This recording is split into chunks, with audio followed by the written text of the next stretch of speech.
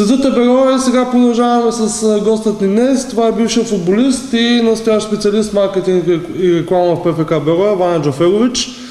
Добре дошъл в предаването и ти благодаря, че прие нашата покана. Благодаря за поканата. Ами да започна нашия разговор първо от представянето на отбора мъжкия в първенството до момента. Кое е твоето мнение? Как виждаш представянето? Еми, че се намираме добро място в класирането. Имаме, имаме точки, можеше и повече, специално някои мачове изграхме както трябва. Имахме хубави мачове, имахме слаби мачове, но като цяло аз съм доволен от представянето. Малко накрая сега направихме един-два слаби мача с Хасково и Слогорец. Ония другите мачове не ги броя с Черно море и защото винаги всеки един отбор има такива моменти а, първенството. Но наистина загубата последния матч беше ма, така с голям резултат и може би малко феновете се изнервиха от това нещо. Но като цяло мисля, че няма смисъл за някакви, да се правят някакви трагедии, защото има много още мачове до края. И мисля, че, с, че няма да имаме проблем с класиращица. Не би трябвало да имаме такива проблеми. Ако с класиращица всичко е възможно. Точно така, както казвам, още много, много мачове. Как оценяш шансовете на отбора за първата щица, за предно класиране, защо не в топ 3 и, нали, шансове за евротурнири? Мисля, че няма да има проблеми за пръстчета специално. Не би трябвало да има, значи не мога да имаме още колко 4 мача до края. Мисля, че с две победи ще се класираме, така че не би трябвало да има проблеми за пръста щитица. И ние ако искаме да играем пръста щитица, трябва да биеме Марек и да и Локомотив Плодив, и Локомотив София, да е матч ЦСКА. Всичко може да тези три мача, би трябвало да ги спечелим, но ако сме тръгнали нещо да правим. А вече като влезем в шестицата, мисля, че ние показваме, че можем да играем и а, с Логорец, и с Теска, и а, с Левски, така че там може да се преборим за нещо повече. Мисля, че може даже и за тройка, там а, казвам пак трябва да, да се стегне отбора и мисля, че като се направи една добра подготовка, няма да имаме проблем.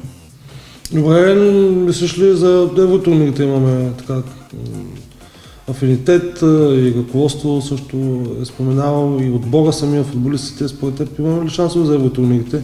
Или ами, през купата, или да. през първенството? Мисля, че би трябвало да се борим за това нещо. Това е целта на отбора тази година. Като гледаме и Левски не е това, което е, трябва да е в първенството. И ЦСКА е единствено догорец е.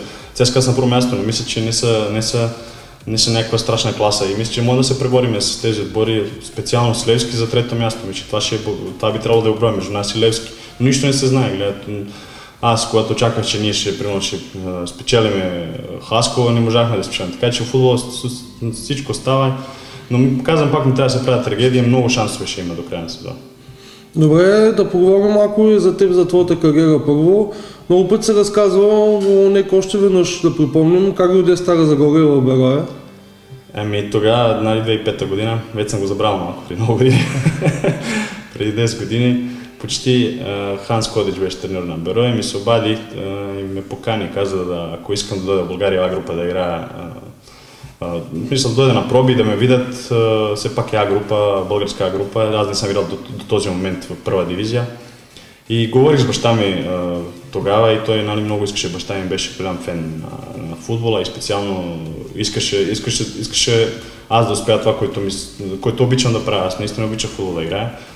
И решихме да дойдем тук, той ме докара в Стара Загора и 2005 година изкарах два месеца на проби. Николай Банев беше президент на отбора. И беше ми трудно началото, но изкарах на... Добре се представих на проби, подписах договор и оттам лека по лека тръгнаха нещата. Имах много хубави моменти, имах много тежки моменти тук, но все, както аз винаги съм казал, все нещо ме връща в Стара Загора към Бероя. И когато съм се махал локомотив София, пак съм се върнал в Бероя. Отидох Кипър, контузих се, подадоха ми ръка, ръководството, феновете, всичките. Така че аз тук се чувствам най-добре. Много съм благодарен на всичките хора, които са ме подкрепили до сега, а те не са малко. И чувствам като моя град и като моя отбор тук се чувствам на място. Добре, спомняш ли си първият матч с Берое, къде беше срещу кого, който ме прави впечатление тогава? Спомням си, да. Играхме с Вихрен Сандански. Първият, първият ва група, нали? Контроли да. там вече не си ги спомня много. Паднахме 2 на, 2 на 0 беше май или 2 на 1, вижте резултата не си го спомням, но знам, че не знаех къде се намира. Тичах там, не, беше все едно съм паднал някъде от... Тогава Георги Бачев играеше централна нападател, беше много добър футболист, карани два гола даже. Или 3 на 1, не съм сигурен, че като беше матч, да, но биха, те точно влезнаха в група. И не бях доволен от себе си, обаче втори матч играхме против Стара Загора, бихме ги 2-0 и така леко, леко, леко по лека нещата се развиваха добре. И наложих се. Имаше моменти, първо, когато ме ставаха на... след като Кодрица махна, ме пускаха а, ляв бек да играя, който не беше моята позиция, а, но нямаше, нямаше тогава нямаше кой да играе в, на, mm-hmm. на линията на, като крайен защитник и Илян Илиев като дойде Берое, той ме наложи като централен защитник да играя и от тага, тогава да кажа тръгнаха моите хубави неща, хубави години в, в футбола Берое. След една година само тук в Стара Загора ти стана капитан на отбора. Изнада ли бе от това първо и изнада ли бе като цяло, че публиката те заобича толкова бързо, а е толкова силно, предвид факта, че с чужденец, разбира се? Ми, наистина бях изненадан. Елена Лев, който ме направи капитан, той влезна след един матч, играхме с Славия. Тук паднахме, водихме 0, паднахме 2 на 1. Тогава капитана бяха... Ние сами си го предяхме. Лян така ги правиш, нали, каза отбора да изберете, бяха един, първия капитан, втори, третия. Mm-hmm. Аз не бях там, нали, Беконо беше първия, май втория Люси Киров, трети Петър Колев и нещо да. такова. И тогава след този матч нещата не вървяха и той върна се Бекон, искам да ви кажа нещо сериозно. А, ще правя промени, ще имаме нов капитан в отбора. И аз, си, аз си там длъжен си върза си обувките или нещо такова. И той каза капитан Шеваня. И аз така един ролата не можа да повярвам, че беше много странно. Сега аз съм тогава на 23-24 години. Mm-hmm. Бях а, млад чужденец, не говоря толкова добре български. Но той каза, нали, искам да направя човек, който винаги дава всичко себе си, може да не играе, да няма някакви такива най- най-високите, най-големите качества, като футболист, примерно нещо. Обаче си винаги дава всичко себе си и е по някакъв начин лидер, нали, показва други как трябва да се раздава по мачовете. И тогава аз нали, бях много, това за мен беше страшно много голямо нещо и след този момент исках всека тренировка, всеки мач да се докажа, че аз заслужавам да съм капитан на отбора. Нали. Аз така човек искам всичко да го правя на 100% и съм перфекционист до някъде. И всеки матч не съм се раздавал да не разочаровам нали, и треньора, и, и феновете, и футболистите. И най- а за обичка от феновете към мен, мисля, че най-много стана след тези неща с Банев, които се случиха. Тогава нямаше пари, отбора остана в една криза и ние си останахме, аз само еди, аз чужденец бях и бекона на вратата и тогава нали, не иска да се тръгна тук, иска да си играя, защото тогава бях най-хубавите години в футбол като цяло, защото най-добре ще защото играх футбол заради футбола, а не заради някакви странични неща. Парите, храната, дали, дали всичко ти е наред, дали имаш автобус, който ще Просто си играхме е така мач за мач, тренировка за тренировка, даже се радвахме много. Това беше страшен колектив, много се радвах. Нямахме, нямахме толкова качествени футболисти, но всички, се, всички идваха с кеф на тренировка и, се, и беше наистина нещо уникално. Няма да го забравя никога. Добре, а, кой е любимия двубой, в който се участвал? Еми, любимия двубой сигурно матч с Бота, който кара два гола тук. Защото знаете, знаеш, тази разговора, да. който кара два гола и повече голове на Бота, винаги си става история, така казват. Аз тогава може даже хетрик да кара, имаше една дуспа, но Ерон Сян беше и той не ми даде да я бия ще да е много хубаво, ако бях карал. Те, този първи матч ми остава като спомен, но като цяло всичките матчове си ги спомня до някъде.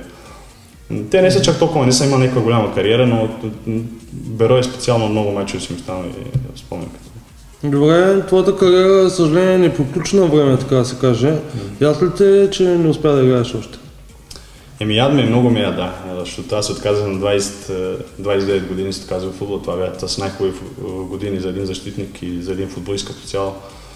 И беше наистина нещо много, много тежко, тежък период за мен. Имах много контузии, връщах се на първа, втора, трета, след четвърта вече не можах. Това са най-тежки контузии, като скъсаш предна кръсна връзка и наистина беше трудно. Искам пак да кажа да благодаря на, на ръководството и на, на, на хората от Стара Загора, които застанаха за мен, защото аз си че да се върна в Хрватска, не знаех какво, какво да правя но тук всеки е, говори, нали, говориха с мен и ми казаха, ако искаш останеш, тук ще останеш, ти си наш, ще, ще ти дадем ръка, защото ти го заслужаваш. Което за мен е нещо голямо нещо. Нали, да, да постигнеш това нещо от е, хората да те обичат е много по-трудно, отколкото да някои други неща. Това е най- най-трудното нещо. Може да си голям футболист, да си имаш уникални качества, но накрая види да никой не те хареса и какво си постигнал много малко. Така е, има, има много такива примери. Контузията ли са най-тежкият момент в футбола? Или загубата, когато загубиш важен матч? Според тебе, Виж, е аз винаги съм бил така в края, нали, като загубя матч, аз много път съм казал, не искам да играя, повече искам да се отказвам, хвърлях обувки, такива неща, бях да, много нервен в футбола, които не е хубаво. Може това да ми дадат контузии заради такива неща. Хвърлях се на максимум всеки един матч. Първо път се, аз късах предна кръсна връзка три пъти заради не, примерно, такива контузии стават, като сам човек се контузи пада, примерно, усука му се коляното. При мен всичко беше единоборство, значи аз се хвърлял невъзможни шпагати да правя, които примерно някой друг футболист няма да го направиш, ще спести, няма нищо стане. Може да карат гола, ама поне няма да е контузен нали, за цял живот. Обаче аз се хвърлял до последно и затова се случиха. Но не мога да се променя, аз съм говорил, нали, баща ми ми говорили, и треньорите, но това е просто от мене и не мога да, аз таки забравям всичко и като играя съм като луд. Добре, когато приключи своята кариера, избра да продължиш в футбола, но да се занимаваш реално с... но да не се занимаваш реално с спортно-технически аспект. Защо взе това решение? Ами, че най-вече защото нямах, аз нямах лиценз за треньор, значи те ми продължиха да стане треньор детско юношески футбол, обаче аз като нямам никакъв опит, едно е да си футболист, друго е да си треньор. А съвсем трето да си треньор на, на, на децата, нали? И иска просто да си изкарам такава лицензия и тогава евентуално да започна да занимавам. Значи да имам някакъв опит. Аз не искам да правя нещо, като ако нямам, ако не съм сигурен в себе си, че ще мога да направя до някаква степен както трябва. Mm-hmm. И затова просто реших да се занимавам нещо друго, което ми е по-близко малко, може би, защото аз съм учил економика и такива неща и сега разбирам и някои неща и ми е малко по-лесно и мисля, че, че мога да се справя до някаква степен. Макар, че там сега видях, че не е лесно и маркетинга е много трудно в България специално от тези години, но малко неща може да се направят. Опитаме се какво ли не, но просто хората не са готови да дават пари за футбола, за реклама. Опитаме се свен магазина нещо да, караме някои нови неща, някои интересни неща, обиколки на стадиона и такива неща, да, да привлечем повече хора. Има някакви резултати, но, но много са малки, не, не е достатъчно. Добре, сега са на тренировки курсове.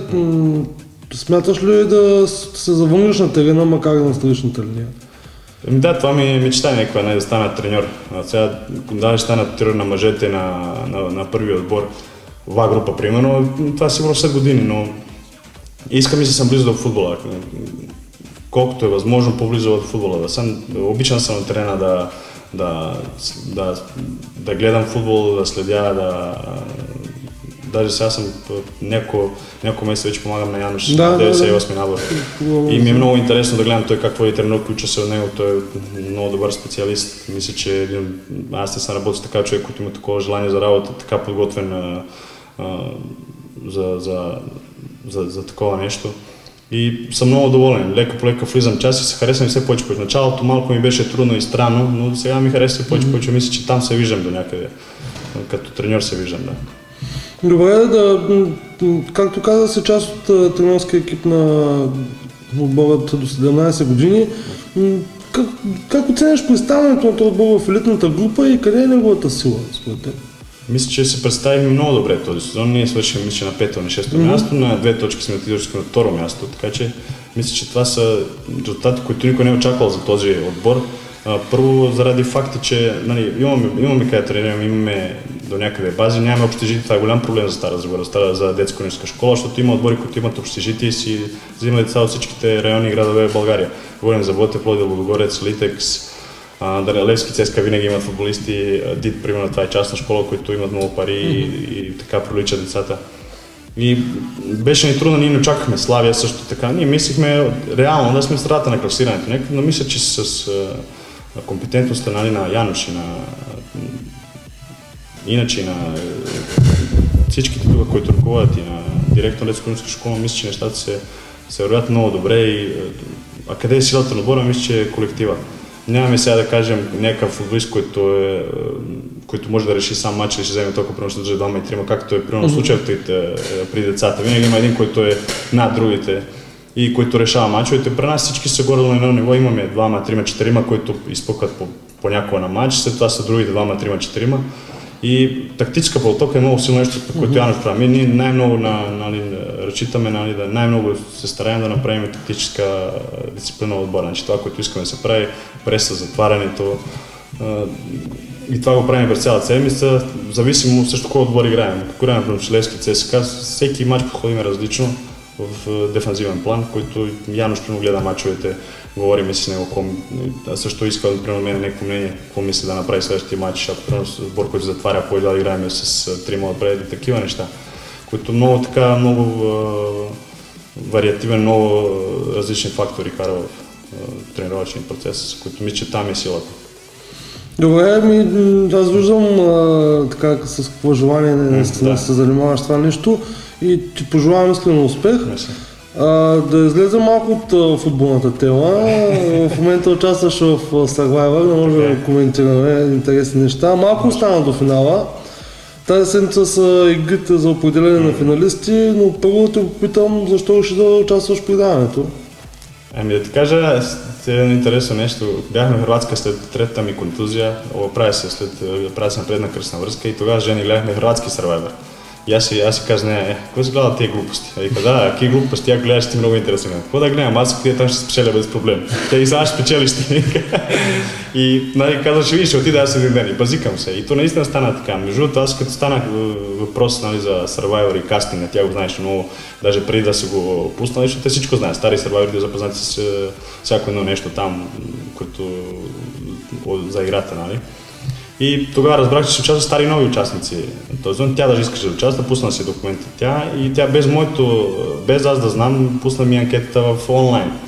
И те ми се обадиха, искаха интервю. И аз казах, какво сега, дай да ходя, да не ходя там в София. И тя ми, и без това път към София, каза, айде, без това път, там ще, ще напишеш там, нали, там е нали, въпросите задавате, ни въпросник. Да. И аз стоях там, това беше в университет, нека забравих вече кой. И попълни това нещо и се върнахме с тази Те потом почна да ми се обаждат от продукцията, да идваме на интервюта, на всеки различни такива неща. И ми стана интересно, защото ходихме двамата жени, тя трябваше да участва, т.е. имаше така вариант. И аз съм става много интересно, съм чужденец, говоря български, жена ми участвала в бившите зони на Survivor, mm-hmm. а този сезон трябваше да е фенове срещу фаворит, значи звезди срещу фенове на Survivor. Mm-hmm. И, и след това, нали, пак, те като съм питал дали искаш да участваш или жена, тя каза, искам жени да участва повече мен. Аз съм чак толкова голям фен, колкото тя. Тя е уникална, тя е страшно голям фен на тази игра и много искаш да участва. Аз им казах, обаче беше ми интересно, нали, иска да видя дали те ще искат да ме вземат мене като... Нали, ще съм интересен като характер. Всеки човек иска да се изяви някъде да го изберат. Да. и аз тогава съм, нали, исках да видя дали ще ме изберат продукцията. И те ме избраха, наистина не избраха жени които нали, последствие ние като си говорим, мислиме, че е по-добре знам, че отидохме двамата заедно, защото ще да ни е по-трудно да играем така. Видяхме какво стане, е. не знам, които седи с Агонце и, mm-hmm. и така. А, и като ти преди да отида, тя ми каза, трябва сега да гледаш нещо, не може да отидеш е така само като индианец, нека да паднеш там.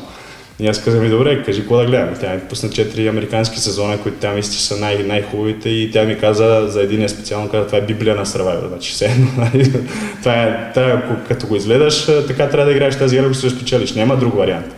И наистина ще сезон американски, като един играете изказа Бостон Роб, той примерно имаше коалиция 4 човека, които ги води със себе си от началото до края и те си стигат до край имат му голямо доверие и той, той не ги лъже, те не го лъжат него, обаче всичките други се покарат между себе си и така стига. Наистина така случи с моята игра горе-долу. Нали? Mm-hmm. Имаш тук малко по-трудно, имам повече игри, повече стратегии, трябва да правиш на момента. Не е чак толкова лесно, колкото там, но горе-долу съм бях запознат с играта, знае какво да. Да. И наистина почна да ми харесва и стана наистина голям фен. Мисля, че това е уникално реалити. Няма по-добро нещо. А, света даже. Гледал съм разни реалитета, такива формати, но мисля, че това е единството истинско и като социален експеримент е много добре направено и измислено. Добре, доволен ли си от твоята игра от тук? Доволен съм, да. Мисля, че се справих добре. Сега някои хора... Тук в България е малко трудно. Те не, много хора не разбират играта. Те мислят, че Survivor е една игра за физически, е, който е силен, по-силен физически, той трябва да спечели. Който повече игри спечели, той трябва да спечели играта. Но това не е истина, това не е факт. И не би трябвало да е така, защото тази игра направи всеки един човек с всеки едни физически данни, с интелектуални, може да, нали, се, с, с, най, на, като нали, няма никаква разлика между хората. Нали, всеки може да спечели тази игра. Даже американци зони повечето случаи спечели, спечели този човек, който печели по-малко игри, който повече мисли а, и който прави по-добра социална игра. Това е което аз се опитах да направя. Мисля, че ми се е получило и доволен съм, да. Като цяло съм доволен от играта си. Добре, ако би могъл, би ли променил нещо в играта си, смяташ ли, че си направил някаква грешка, съжаляваш ли за нещо? Ами чак, някаква фатална грешка не съм правил. Имах много късмет. Тук трябва много късмет. Нали? Никой нито един път не са искали да ме гонят. Те хората как, как така не мислят да гонят това? Ама те не виждат, те виждат 40 минути предаване какво, какво са избрали продуцентите, монтажистите. Те не виждат, че през цялото време аз сте старая да играя социална игра, че аз говоря с всичките никога не отивам да правя шушо-мушо, примерно да шукам на, на ухото някой пред други хора. Ако съм го правил, съм викнал го да примерно отивам при някой и казвам, еле след малко 5 минути да отидем там да говорим. И никой не ме подозираше мен като някой, който прави такива неща. Аз, между другото, аз, аз съм искал да играя така, аз съм казал, ми не ми е проблем. Проблемът български сравер е такъв, че тук хората ги е страх да лъжат, да правят интрига такива, защото страх е как ще излизат пред камерите. Пред... Значи, а мен това не ме е страх. Аз знам какъв съм, хората ме познават, моите приятели знаят какъв съм. Аз съм дошъл тази игра да играя да спечеля. Значи, аз съм искал да лъжа, искал съм да правя такива. Аз даже, аз съм, че съм ги лъгал още повече. Трябваше да лъжа още повече, защото това е една игра. Значи, не може там да отидеш там и да кажеш, аз мисля, че той ми е приятел. Няма такава, такова mm-hmm. нещо. Там, е, там, там си сам за себе си и колкото по-добре се справиш. Примерно имаше случай, който следи сега, тук сме нали, в футболно предаване, ама mm-hmm. с Марчо, примерно като изгоним Марчета, той изобщо не подозираше. Не ще ми каза защо. Ми по-добре да изгоня Марчо Явор преди това, отколкото да слезем обединението, примерно проблеми с тях и те мен да ме изгонят след това, защото те сега сигурно се тръгнат да ме гонят, защото те стигнат до един така момент. Значи по-време играчи, които не са толкова силни, защото те са силни единици. Марчо не е толкова силен играч. Видите колко е като е, а, но здраве е такава, има самочувствие и се прави като, като хора, събира хората около себе. Аз затова съм го изгонил. Не, не заради нещо, нямам нищо срещу него. Той е просто а, жертва на обстоятелства. Добре, в началото ли бе най-трудният момент в играта, искаш да стъгваш други? Да, в началото беше много трудно. Първият ден направо, като дойдох и свалиха ни на острова, и аз знае къде се намирам. Легнах между Крум, имаше един Васил и двамата и завихме се с палмови листя и един студен ужас. Викам, къде се попадна, какво е това? Аз мисля, че сега ще има игри само. То, всъщност игрите са много малко, игрите са 2 часа, през другото време, време ти си на острова с тези хора само. И са, общуваш само с тях. Значи, ти цял ден си с тях и полудяваш. Просто трябва психически да си много силен. Но и с времето, като минаваш, станах все по-силен и по-силен. Докато други се изнервяха, аз станах по-спокоен. Имаше някои моменти на избухването, но просто се случиха заради странични фактори. Но иначе нямаше да избухне нито един път, ако не бяха тези неща. Добре, имаме въпроси от фенове на играта, които сега ще задам. А, зрителите на Survivor са на двете крайности за поведението ти. Едни те хвалят, а други са на другия полюс. Да, Основна причина е коалицията ти с един от най-големите дразнители за повечето хора, Йоги. А, как се стигна от тази ваша коалиция за друга и игра заедно? Еми, значи, с, първо, се, първо се разбрах с Крум. Аз първият ден си бях на водата и усетих го Крум като човек, който мога да си говоря, да си общувам, защото е най-човек най на мястото си, не дига се в облаците си, е, така как, както си е, нещо като мен е подобно. И си говорим как нали, един се прави пред камерите, другия а, след това говори някакви други неща. Сега няма да споменавам имената, но всеки се претваряше, нали, че, че да. това, което не е. Единствено аз и той бяхме такива, които сме си всъщност. И като сяхме водата, аз му казвам, аз искам да играя с теб, нали, защото гледам, че те ще се събрали коалиция от 5 човека. И ако ще не иска да ни гонят, аз съм с тях, ама аз не искам с теб, искам с теб, ама ми трябва още хора, трябва поне двама човека още. Той ми каза, ами има една, има тази Йори, вика, тя е малко луда, ами ще ни свърши работа, че, че, че, че, няма да ни излъжа. И тя точно влизаше във водата, аз отидох при нея с Крум и викам, Йори, слушай, искаме да, да говорим нещо Крум, искаме да играем тримата заедно. Значи, знаеш, че тук някой не е да хората не те харесват и сигурно ще искат да те гонят. И те каза, е, момчета, много се радвам, че дойдете, че искате да играете и аз искам с вас да играя. И това стана че сигурно четвърти ден някъде тази mm-hmm. коалиция.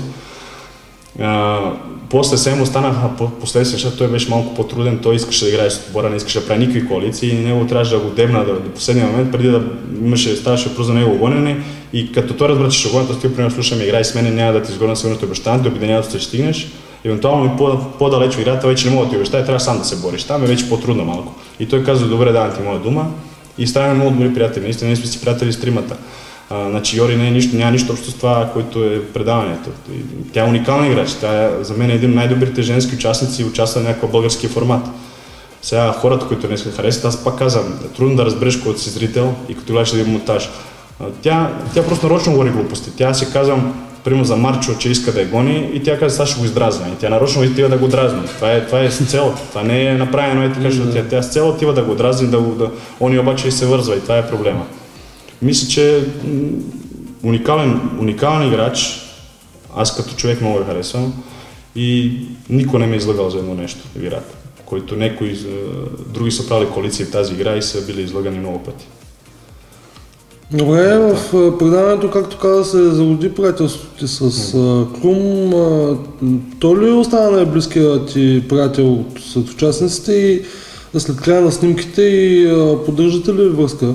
Да, разбира се, Крум сме много добри приятели и нали, по време на играта и след играта и сега чуваме се постоянно и който имаме възможност да се виждаме. Лошо, че той е София, аз съм Стара Загора, но наистина едно взема момче, който аз, нали, като аз преди преди нали, съм си мислил, а, той чалга, пеете всички са някакви такива. Защото аз не съм, не съм фен на чалга. И жена ми казва, не говори така, защото като отидеш ще видиш най-вероятно това, което си виж съвсем различно, че е най-големият пич от всички. Тя ми го каза, казвам, аз стига, стига глупости. Аз викам, гледахме един клип там. И така, кое е това чудо? И наистина, като отидох, видях, че този човек е единствен, с който мога да се общувам нормално. Този момент, нали? После, mm-hmm. последствие, аз, примерно, с Йори съм си общувал прекрасно. С Ема съм, с примерно, всеки път, когато съм имал някаква нужда, някакъв съвет. Той е човек, много, който много мисли, много е, много е реален, много... И като примерно аз в някой момент съм искал да направя някои неща, които не би ми били добри за игра, той ми каза, не дей по-добре правиш така, по-добре нали така, защото след това нали, зрители, защото малко избухвам по някой момент. Иска да правя такива някакви глупости, Йори, тя, тя жени ми каза, ти като си с Йори, бе, сте не е хубава комбинация, ще правите глупости. Някакви по-добре, като имаш емо някой да те, някой да те спира. Да. И да, наистина с, с Крум съм и, и с Тримът съм много добри отношения, ама и с други участници. Аз нямам проблеми с никой от тях, само с Агонцев не, не се чуваме, смисъл не се виждаме и с Марчо, с Марчо Явори и Деси, примерно, пак не съм лоши отношения, здрасти, здрасти, ама с Агонцев с него нямам никакъв контакт. Просто. Добре, нужно е човек да е същия какъвто е живота в играта или за там се иска да изневириш на себе си? Може ли човек да стигне напред само честност според теб тази игра? Ми може да стигнеш честно, но трябва да имаш голям късмет. Трябва да си голям късметлия, да печелиш игрите, да, да не ги печелиш всъщност, никой да не иска да ти гони, накрая евентуално да спечелиш някакъв за финал и нали, да си, просто трябва да имаш много късмет. Ама ако искаш да, да останеш запомнен, трябва да правиш много, uh, много такива ходове, които трябва да, какво означава да изневериш. Значи трябва да, трябва да лъжеш, наистина трябва да манипулираш, трябва да правиш интриги някъде. Uh, имаше американец за предишния сезон, спечели един човек, който каже, аз съм, той, той uh, полицай от Нью Йорк и каза, аз съм, тук съм дължи да лъжа, да мамя, да изнабрувам. Каза, няма нищо общо. Ще кажа, че, той каза, аз ще кажа, че ще лъжа, че нямам жена, ще кажа, че баща ми е починала, че излъжа за всичко, за всяко едно нещо, да спечели тази игра. Вика, аз не вярвам това нещо, това за мен е игра. Истински живот и истинския живот, това е съвсем нещо друго. И накрая го питаха това нещо, точно така въпрос. И един от полиция каза, ние всички за него, ние знаеме какъв е той. Той си има самочувствие, а, като човек знае, че, че какъв е всъщност в истинския живот и няма е проблем, това за мен не е никакъв проблем някой да лъже. Даже мен, ако ме бяха за играта, аз ще да му стисна ръката, защото но тази игра никой не се сети да ме излъже, това е, това е техният проблем. Добре, харесва ли ролята на злодея? Злодей, мен. Еми, хареса ми на мен аз, защото иначе в живота съм по-такав това е съвсем различно нещо и да. а, като ти гледах точно за на един американски участник, той е малко по-така истински злодей. Той им пали чорапи и хвърляне такова. Аз иска така да играя, но жени ми каза, не моля да се играе, така ще те намрази цяла България. Трябва да се местим от тук, тук не. И в Пранча, не, ние знам, примерно те, трябва да си бъди са косата, защото полиците познаваха и псуваха и така, тя си бъди са черно косата а, тя, е, тя не е била чак толкова голям злодей. И тя ми каза, не, моля се, моля се, не прави глупости и реших да не ги правя, но имах друг злодей до себе си, който и правиш неща. Който правиш подобни неща, да. Добре, били участвал отново? Не знам дали бих участвал отново, ще има как ще свърши този сезон тази година, но мисля, че направих всичко, което трябва да направя. Такава игра много трудно мога да постигна пак. Вече ме знаят хората, ако отида пак, мисля, че съм един от първите изгонени играта. Тогава, тук е много трудно да се, ако, се, ако някой иска, ако някой не те харесва и знае как играеш и го е страх от теб, ще те изгони веднага. Мисля, че няма да има някакъв шанс. Тук е много зависи от хората. Може би, евентуално, ако са само стари участници, нека вол стара, ако се направи, евентуално тогава мога да отида. Иначе, мисля, че не. Ма никой не се знае, след 4-5 години, как ти се обадиш към продукцията, ще, ще помисля. Добре, благодаря за този разговор. Пожелавам успех да наистина с финалистите и наистина да, да спечелиш, да събереш най-много гласове и победиш в тази игра, така както се побеждава на терена в живота. Последно, може би, няколко думи да кажеш и пожелавам към зрителите, към феновете, така белата сме традиционно има такива. И това пак искам да благодаря на всичко, които са направили за мен, специално през тези години феновете на Берое, всичките хора, които са стара да говоря, тук не се чувствам прекрасно и живеят си перфектно. другото, което ще не пожелава хора на отбора на Берое да играе в първата шестица, ми, че това, това, това ще се случи със сигурност и пожелавам европейски турнир. От трето място, четвърто място да се борим за тези места и да играем година пак тук на нашия стадион европейски матч. Мисля, това е няколко пожелания, които може да се направят. Точно така, и аз се надявам към него, още много ще благодарим, успех. Това е много че не продължаваме с останалите програми.